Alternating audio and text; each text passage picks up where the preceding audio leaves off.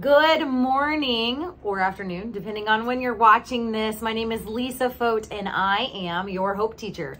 So welcome to the 2023-24 school year. I'm so excited to kick off another year.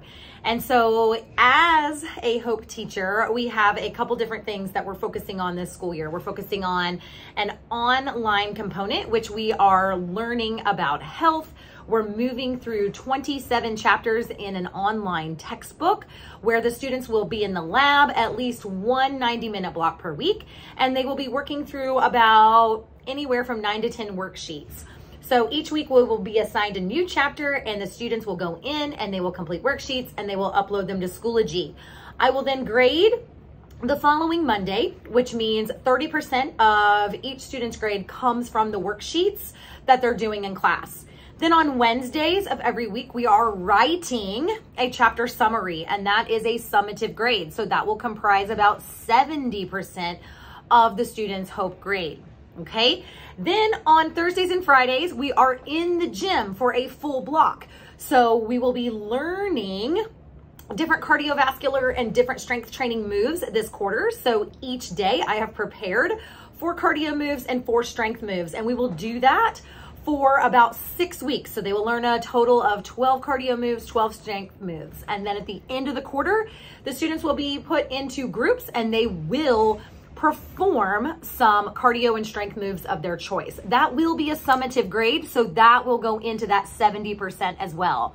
So there is both a health online component and a physical fitness PE component. So the requirements for the PE is all students must be dressed out Every single day, I am giving them points for dressing out. So if they have their Nease uniform on, then they get five points. If they have tennis shoes on, they get five points. If they're missing tennis shoes and show up in Crocs, they only get five out of 10 points. So the requirement is you have to have a tennis shoe or a rubber sole. Vans would be okay.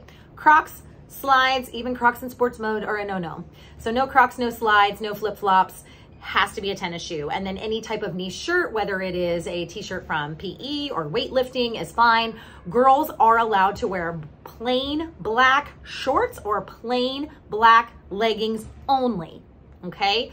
Um, we do have uniforms for sale. They are $30, 15 for the top, 15 for the shorts. And then we have lockers available as well in the girls' locker room. If your student wants to get a lock, it is $5. And so I can take monies at school. It has to be cash or check and I will take care of that for them. So other than that, that's pretty much how our class is gonna go. Every Monday or Tuesday on that block day, when I see the students, they are in the lab, they are working diligently on their worksheets. I will tell you this, that 90% of the students should be able to get all nine worksheets done in that 90 minute block so they don't have homework what they don't finish in class does become homework. So if I assign it on a Monday or Tuesday, it is due by Sunday evening because when I come in on Monday morning, I grade. And I'm not gonna take late assignments. If you're out of town or you're sick, we'll make arrangements. But otherwise, everything is due by Sunday night so that when I come in Monday morning, you get either a zero or a 100 for doing your worksheets. Now, the only caveat here is that you do have to answer the actual question and not just put any kind of bogus answer and think that you're going to get a good grade. So we're doing that on Monday and Tuesday. Wednesdays, again, we're doing our summatives. I only see the students about 40 or so minutes on Wednesdays because it's early release. So we write our chapter summaries and then on Thursdays and Fridays, we're in the gym doing some type of fitness. The fitness component will take about 30 minutes of activity. They will have about seven minutes at the beginning to dress, They'll have about seven minutes at the end to dress again. So that'll take about 45, 50 minutes. So we will have a little bit of downtime in the gym because I can't physically require students to work out for 90 minutes. So I hope this was helpful. I'm super excited to be here at Nease.